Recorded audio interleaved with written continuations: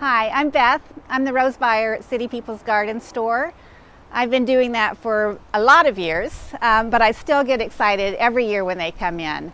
They're beautiful, uh, they're budded, they're starting to bloom, they're just full of potential. They're about to bring a lot of beauty to your garden. Um, I make a big effort to buy roses that do well and are disease resistant in the Pacific Northwest, but I do like to try new ones every year. Um, so some of them I don't know as much about. But um, I want to show you a couple that we have right now that I'm really excited about. Um, one is this beautiful little yellow multi-petaled rose called Edith's Darling.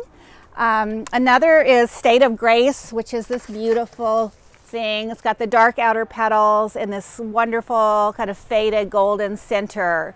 Um, and there are many other beautiful roses here. So come down and take a look.